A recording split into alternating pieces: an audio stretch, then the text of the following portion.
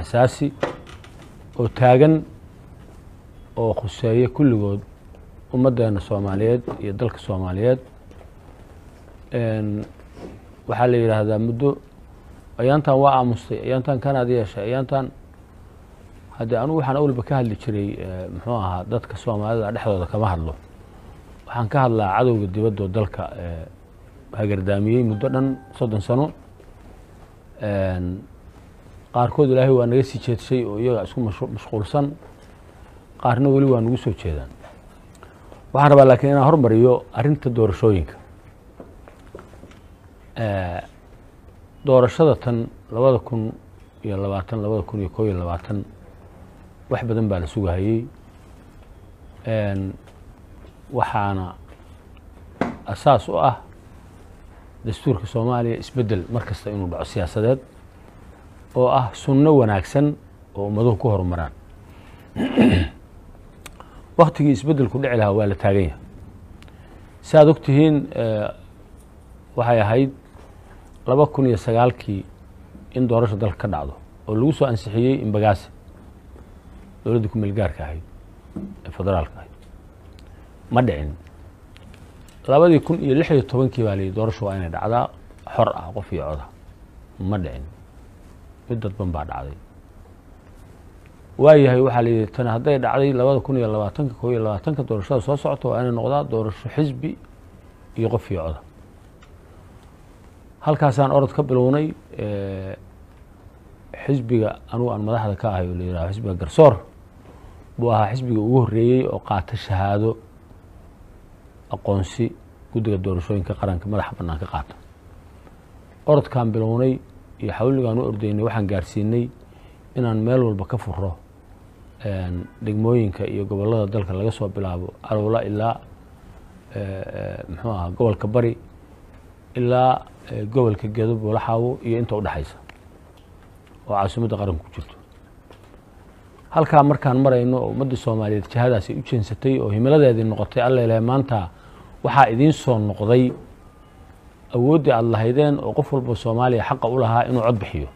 Doortana dadka shaqada loo dhiibayo oo adeegaha u noqonaya dadka soomaaliyeed wakti dhoweyd arrintii iyada ahayd waa laga leexday waxaa loo leexday kuwii hore u soo dhici jiray. Carabtaa waxay tidhahdaa saalim maa yazaal meheratu. Saalim maa yazaal meheratu. Yacni kama gaboobin hebel meheradiisii. Arrintii ahayd in maalin walba qabiil lagu noqdo oo doorasho dadban la aado laga zuuli waa. Dad bay u macaanta. Laakiin dan shacbiga soomaaliyeed uma aha. Waa yeelay baarlamaanku waa ansixiyey iyadoo la tixgelinayo heshiiska dhex maray dowladda federaalka iyo dowlad goboleedyada ee dalka. Bishii sebtember baan u malaynayaa inay ahayd markaan ansixinay. Time table baa la qoray waxaa la qoray muxuu ahaa jadwal baa la qoray doorashadu ku dhacayso. Waana lagu heshiiyey waktigay dhici lahayd iyo say u dhici lahayd intaba. Waxaa nasiib daro ah ayadiina maanta in hadda lagu heshiin layahay ayada laftigeedii oo shalay lagu heshiiyey oo looga leexday jid cad oo ahaa jidkii saxda ahaa oo dastuuriga ahaa oo sharciga ahaa bahashii looga leexday oo loo aaday tii dadbanayd ayadii baa shaqaynla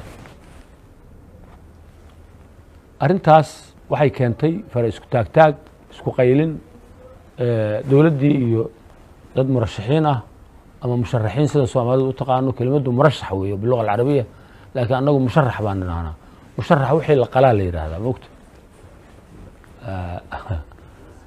inay isqabsadaan. Oo weliba ay keento kala qaybin shacbiga soomaaliyeed oo keeni karta ammaan darro iyo gacan ka hadal. Waa ogtihiinoo kursiga waxaa iska leh loo tartamayo ama labada kursi oo guddoomiyaha gobolka guddoomiyaha baarlamaanka iyo madaxweynaha iyo kuraasta kaleba oo xildhibaanadu ku jiraan oo wasiiradu ku jiraan yaa iska leh shacbiga soomaaliyeed baa leh. Waxa lagu dirirayo oo la ysku haysto oo laga yaabo shacbigana in la ysku diro waxaa iska leh ummadda soomaaliyeed baa leh. Ummaddaas soomaaliyeed waxaadii in hadda iyada madax laisu gesho waxay noqonaysaa wax aan xaq ahayn oo fiicnayn muddo badan baa ummadda madax laisu gelinahayey dadka kuraasta ku tartamaya ayagu xataa dharbaaxo isku dhufan maayaan. Ya? Laakiin waxay keenaysaa heshiis la'aantoodu isku dhac umadeed bay keenaysaa. Soddon sano ka bacdi dowlad la'aan iyo rafaadka aada ogtihiin oo hadda aanan anugu halkan ka akrin karin oo kulligeen aan wada gallay in maantay doorashadii oo lagu heshiiyey oo wada ogolahayd in la ysku qabsado oo car iyo car ay gaarto oo laysu dhaarto wax xaqa maaha annagu dadka soomaaliyeed baan ka mid nahay. Mas'uuliyiinta xisbiyada hogaaminaysay baan nahay. Way iska aqbalay oo waa liqnay haddii gobolladii iyo dowladdii heshiisay. Waa u jeednaa waxaan marka waxaan rabnaa inaan ka digno oo ummadda soomaaliyeed uga digno inaan layska horkeenin. Dadka kuraasta doonahaya waxaa laga rabaa inay iyagu khilaafaadkooda xaliyaan waxaa iyakaa yaqaana. Dadka kuraasta isku haya oo murashaxnimada ku tartamaya. Kuraasta waa lagu tartamaya dowladda maraykankaba waad ogtihiin shiddada hadda ka taagan. Laakiin waa dowlad weyn oo le deep state waxa la yidhaha dowlad qodan bay leedahay. Waxba ka dhimi maysa iyada. Annaga wax yar oo hadal yar ah oo naga tegey ama isqabqabsiya ama farisku taagida yaa laga yaabaa inuu inoo geeyo dhibaato badan oo aynaan ka soo waaqsan. Iyo dhiig. Arrintaa iyada ah laga waantoobo cidda ku kacdana waxay muujinaysaa mas'uuliyadda ay u tartamaysa inaysan istaahilaynin ciddii dadka soomaaliyeed isku dirta oo qoorta isu gelisa kursigaa la weyne dadkiiyo dalka uu rabo inuu qofkaasi xukumo lama weyna. Waxaan rabnaa dowladda iyo murashaxiinta isku haysata qaabka doorashada. In intay ishor fadhiistaan waa soomaaliya waxa ba'san oo la kala sheeganayo la isdhegeysto oo la xaliyo haddaysan intaa awoodi karin hadda aniga waxay la tahay hoggaankoodu waxuu noqonayaa hoggaan su'aali saaran tahay annaku haddaan nahay xisbiga garsoor waxaan diyaaru nahay inaanu dhexdhexaadino haddaysan iyagu heshiin karin. Inaan dhex gallo aniga shakhsiyan guddoomiye ku-xigeenkayga xogeyaha guuda muxuha xisbiga dhallinyarada guddi baan u saaraynaa waa dhexdhexaadinaynaa waa ka warqaadaynaa dowladda iyo nimanka murashaxiinta oo muxuu ahaa leh waxaa khaldan waxbaa khaldan. Waa ka dhegeysanaynaa waana u gudbinaynaa dowladda. Dowladdana waxaanu rabnaa inayna dhegeysato oo aqbasho wixii looga gar leeyahay ayagana wixii looga gar leeyahay inay aqbalaan wey haddii kale doorasho meeshay ka dhici lahayd dirir iyo dagaal iyo kala tag iyo dadka soomaaliyeed oo laysku diro baa bedelkeedu noqonaya. Fursaddaa in ummadda soomaaliyeed la dhaafiyo waa ka digaynaa haddii aad ku heshiin weydaan doorashada dadban haddii markaa loo soo celiyo tii ahayd xisbiyada taas baa lagu heshiinhayaa soomaalida oo dhamme ay rabtaa qof iyo cod iyo xisbiyo. Diyaar baa naha anagu muxuu ahay taxafiisyadayadii iyo howlahayagi waa diyaar. Guddiga doorashooyinka qaranku waa diyaar boqol kiiba muxuaha guddoomiyaha guddiga doorashooyinka qaranka madaxa bannaan xalimo yarey waxay ugu tiri waa dhexdaas hore boqol kiiba sagaashan waa diyaarinay sidii doorashada loo qaban lahaa. Haddii aan lagu heshiinayn midda dadban middii toosneed hala aado annaku sidaan sheegnay shirkan jaraa-id waxaan u qabtay inaan diyaar u nahay doorashadaas inay dhacdo inaan rabno waxa khilaafaadka ah oo la isku hayo oo yaryarna inaanu ka saaro turxaan bixinno oo aanu dowladda iyo ishor fariisino dadka mucaaradka ah oo murashaxiinta ah oo waxa ay ka hadlahayaan ama diidan yihiin la ishor dhigo halkaasna heshiis lagu gaaro. Cidda heshiiska diidanna aanu dadka soomaaliyeed u sheegno intaas waxaa weeye inta ku saabsanay doorashada saacaddan laga bilaabo ofarkaas ama haddii ala ku ron yahay fursaddaas ah inaanu diyaar u nahay inaan heshiisiino. Haddii ay rabaan xataa ha ku soo dareen ciddii ay doonahayaan oo ku kalsoon yihiin laakiin annagu xisbi ahaan baan mas'uul ka nahay xisbigayagaan mas'uul ka nahay waanu u bandhigaynaa bandhig in muxuu ahaa shuruud la'aana inaanu dhex gallo. Dowladda iyo dadka doonaya muxuu ahaa waxbaa khaldan leh. Runtiina waxa weeye anigu waxaa laga yaabaa inaad tirahdaan dowladda ka mid tahay xildhibaan baa tahay waa run. Laakiin haddana dhinacna maaha. Waxaan ahay dhinac. Ah dhinaca dadka soomaaliyeed baana iyo danta iyo maslaxadda soomaaliyeed. Dowladda dadka soomaaliyeed baa iska leh inay naga duntana ma rabno in la khashkhashana ma rabno. Waxaan rabnaa in dowladdu qof maaha oo laba maaha oo sakariye maaha oo cali maaha shacbiga soomaaliyeed baa iska leh. Haddii aan loo turin way tabar yar tahay way dumaysaa. Hadday naga duntana wixii hore oo aan soo maray iyo wax ka xun baynu ku noqonaynaa marka iyadoo aan waxba la dumin ha la hadlo. Carabka ha lagu wada hadlo halkaa markaan taa kaga baxo waxaan gelayaa arrin iyaduna muhima oo ah isbeddelka ka socda gobolkan geeska africa waa la socotaan sidii dowladdan loo dhisay isbeddello badan baa ka dhacay gobolka. Annagu inta badan haddaan soomaali nahay isbeddelada lama falgallo waayo annagaa isku mashquulsan. Annagaa jifooyin iyo reer reer iyo afar iyo bar isugu mashquulsan. Adduunkeennuba waa intaas. Adduun weynahaba kuma noolin.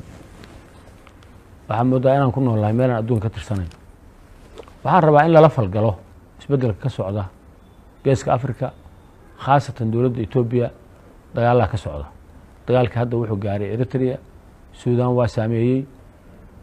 Annagu derisna waa nahay mana ahin oo waxaan deris ku nahay dad soomaaliya iyo dal soomaaliya oo ka tirsan muxuu ahaa dalka etoobiya isticmaarka uu ku daray afartii ingiriisku baynu horta derisna laakiin hadda ka tirsan dowladdaas aniguse ma ictiraafsani. Waxaan ictiraafsanahay dadka soomaaliyeed inay xor yihiin cidna aysan gumaysan karin iyagii dalkooda toona. Isbeddelkaa ka socda oo dagaal wuxuu keeni karaa dhibaato weyn buu nagu keeni karaa. Fursadna way jirtaa. Waxaan rabaa in dadka soomaaliyeed ogaadaan khatartaas soo socota oo ummadda soomaaliyeed oo dhana aan ahayn jamhuuriyadda soomaaliya keliya in laga tashado. Oo maamulada soomaaliyeed ee kala duwan oo ku kala baahsan geeska africa oo qaar dowlado yihiin sida dowladda soomaaliya iyo dowladda jabuuti inay iyadoo aan cidna wax loo dhimayn war dhibtaa iyada ah see dadkaas dhibaatadaa haysata aanu isaga xijaabnaa oo aysan wax nooga soo gaarin. Iyaguna waa deris haddii ay heshiinahayaan. Ay muxuu ahaa heshiiyaan laakiin annaga waxaana khuseeyaa waxaa weeye inaan dhibtoodana soo gaarin wixii fursada oo noogu jira hawshaasna aanu gallo. Waxayna u baahan tahay dad istraatiijistayaal ah oo oo geo istraatijiga yaqaana inay arrintaas ka sameeyaan daraasad inta ka sameeyaan oo ka kooban ummadda soomaaliyeed oo dhan. Waxa oo kale markay dhacaan ummaduhu waa ka shiraan waa waa ka showraan aqoon-yahan baa loo diraa haddii alla ku ron yahay muxuu ahaa markaasaa waxaa la dhigaa strategy. Oo haddii dhibi ka imanaysana la yidhaha dhibta saasaynu isaga difaacaynaa ama qaxooti ha noqdeen ama shiddo kale ha haato ama dad hubaysan ha noqdeen. Haddii dheefi ku jirtana dheeftaas sidii loo dheefsan lahaa looga hadlo. Adduunka dhan waa saas. Marka annagu waxaan la yaabanahay lex dhukani abaar moog. Annaga un baa isu jeedna. Caalamkana ma lihin taana intaas baan ku dhaafahayaa waxaan rabaa inaan ku soo gebagabeeyo hadalkayga annaga iyo kenya. Saaad ogtihiin etoobiya muddo hadda dhowr sanaa iyadaa isku jeensatay laakiin kenya waxay gashay booskii nidaamkii tigreega oo hadda dagaalku ku socdo ay nagu haysay waana ogtihiinoo gobolladaas koonfurta oo dalka xiga. Anugu saddex sanaan ka hadlayay iyo bar nasiib wanaag haddii maanta dowladdii anigu wixii aan sheegi jiray ay garatay oo xiriirka u jartay oo kululaysay oo anugu marka waxaan ahay muxuu ahaa messajka layga rabay ama risaaladii layga rabay waa gudubtay. Waad la socotaan media haddaad tihiin saddex sano iyo bar aniga keliya ka hadli jiray. Ama baarlamaanka aan ka hadlo ama media aan ka hadlo. Waxaana ka hadlahaya wax dhaba oo aan maagid ahayn oo ah diyaarado helicopter ganships diyaarado qoryo ku hubaysan oo helicoptera ah iyo kuwa muxuu aha miiga ah ama ama jadka ah oo lagu duqaynayo dad reer baadiyaha masaakiina iyo xoolahoodii oo la leeyahay argagixisaanu leynay gobollada ugu xoolo badan dalka weeye gobolladay duqaysay. Waxaad moodaa in ujeeddaduba ahay dadka soomaaliyeed in fakri laga dhigo. Magaalooyinkii bay ku fakriyeen baadiyahana in lagu fakri siiyo waxaa ka mid a gobolladaas waad ogtihiin gobollada gado gobollada jubbada dhexe. Gobollada jubbada hoose. Mar marba kolaya xataa waa gaartaa. Muxuu aha bay waxbaa ka soo gaara. Dad badan baa lagu laayay oo masaakiina xoolo badan baa lagu laayey lagu qaxiyey baadiyihii aynu ku qaxi jirro ku nooleyn baa laga qaxiyey kenya badaha iyagii bay sheeganaysaa kenya waxay gashay cadowgii tigreega booskiisii in loo naxariistana maaha dhul aan leenahay bay haysataa. Dad aan leenahay bay dibin daabiyeysaa waad ogtihiin. Dadka reer n f d dhallinyaradooday maalin walba afduubtaa duurkay ku soo dishaa hilibkooday dugaagga siisaa. Soo la waayaa waa argagixisa yidhahdaan kulligeeyo waxaan u nahay argagixiso soomaali haddaan nahayba waagii horena waxaynu odhan jireen shift ama shufti baynu dhihi jireen nidaamkii ka horreeya nidaamyadan. Maxaa ninety sagaashankii wixii ka horreyay dowladda markaan ahay soomaalidu waa shufti bay dhihi jireen. Markaasay layn jireen markaasay xereyn jireen markaasay dhibaateyn jireen. Waxaan qabaa kenya inaan laga dabcin in keliya maaha intaase waxay bi'isay la uruuriyo waxay dumisay oo sharikadaha isgaarsiinta iyo kuwa xawaaladaha oo ay ugu horeyso shirkadda hormood iyo shirkadda habshiil iyo shirkadda muxuu ahayto soomaali muxuu ahaa somali net internetka. Kuwaa waxay ka dumisay dadkay laysay dadkay qaxisay xoolahay laysay beerahay muxuu ahayto burburisay oo ku burburisay muxuu ahayto gantaalo iyo qanaabil ka soo dhacaya diyaaradaha. In la tiro koobo oo lagu dacweeyo dusha laga saaro. Intaa loogu daro wey dowladdu inay intaa ugu darto maahan diblomaasiyadii baan ka goostiyo safiir baa lala tashanaya waa arrin jilicsan weli. In la adkeeyaan rabnaa waxaan ku faraxsanayo halkaan xasuusanaysa arrintaani. Gabadha soomaalida ah oo maraykanka ah oo senataradda ah muxuu aha ah xildhibaanadda ah kongareska maraykanka ku jirta ilhaan cumar. Khayr allaha siiya waxay sheegtay dadkii ay naga dileen diyaaradaha daroonka maraykanku inay aan u sheegan doonno oo ay looyaro u geynaysay. Waxaan ku daraynaa sagaashan iyo saddexdii laga soo bilaabo. Ilaa hadda wixii maraykanku naga dilay liis baan furaynaa dadkaas waxaan rabnaa eheladoodii inay qof walba inta laga dilay soo sheegaan. Kolba anigu wiil baan ku lahaa walaalkaya oo lixdan oday dhowr iyo lixdan oday oo maalin la dili jiray admiraal haw uu dili jiray walaalkay habartee dhashay maxaad aadan guuleed la odhan jiray? Ayaa ku jiray. Ciddii marka arrintaa danaynaysa xisbigu wuxuu furahayaa liis waxaanu ku dacweyneynaa dowladda maraykanka waxaan ku dacweyneynaa kenya annaga dhiigayagu maaha dhiigga shimbiraha hargabka ku dhaco. Avian fluga bahalka la yihahdo iyagoo nool lagu tuuro feri kukuyo isticmaalka ingiriiska la dirto waa qabiil ka mid ah qabiilada kenya. Kukuyo waa la laayay. Niman ka xoog badan oo askara oo qorya haystaa laayay iyagona dad masaakiin ay ahayn dacway bilaabeen waa dhexdaas. Madaxweynahan hadda uhura markuu yimid oo isku cid yihiin dowladda ingiriiska maxkamad baa la geeyey. Wax allaale iyo waxay xasuuqeen iyo waxay dileen iyo waxay kharash muxuu ahayto kharash ahaa oo ay dadkaa u geysteen. Dushaa laga saaray dowladda ingiriiska. Wayna bixisay waana konton sano ka hor baa laga hadlaya lixdan sano ka hor. Annagu marooti baa nahay marka. Ya. Sow dhiigeennu dad maaha. Sagaashan iyo saddexdii haddeer bay waa nooleed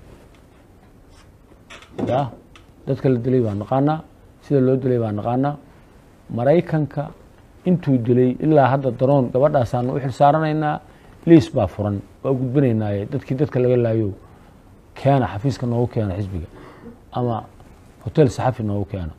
Halkaasaan deganahay kenya oo dhiiggeedu qoyan yahay ay naga daadisay